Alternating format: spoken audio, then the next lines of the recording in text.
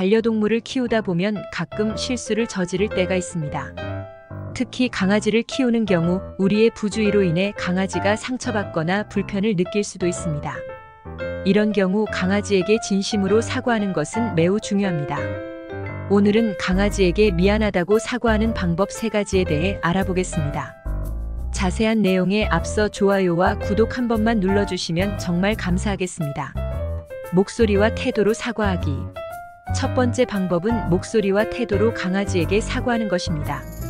강아지와 눈을 마주친 후 부드러운 목소리로 사과의 말을 전해주세요. 강아지는 우리의 언어를 이해하지 못하지만 우리의 감정을 읽을 수 있기 때문에 진심 어린 태도와 말소리가 전달될 것입니다. 또한 강아지를 향해 고개를 숙이는 것은 사과의 표시로서 효과적입니다. 강아지의 시선을 피하지 말고 우리의 잘못을 인정하며 사과하는 태도를 보여주세요. 행동으로 사과하기. 두 번째 방법은 행동으로 강아지에게 사과하는 것입니다.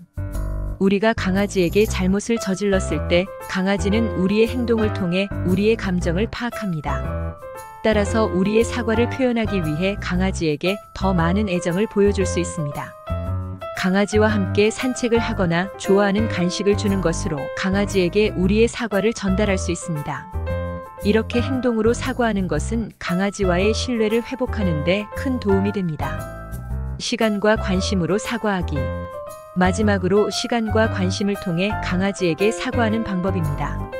강아지에게 상처를 주었을 때 그 상처를 치유하기 위해서는 시간이 필요합니다. 우리는 그동안 강아지에게 더 많은 관심을 기울여 줄 수 있습니다. 강아지와 함께 놀이를 하거나 마사지를 해주는 등의 활동을 통해 강아지에게 우리의 사과와 애정을 전달할 수 있습니다. 이러한 관심과 시간은 강아지와의 유대감을 다시 형성하는 데 도움이 될 것입니다. 반려견에게 미안하다고 사과하는 것은 우리와 반려견 사이의 신뢰와 유대감을 회복하는 데 중요한 역할을 합니다. 목소리와 태도, 행동, 시간과 관심을 통해 우리의 사과를 전달하면서 반려견에게 우리의 진심을 보여주어야 합니다.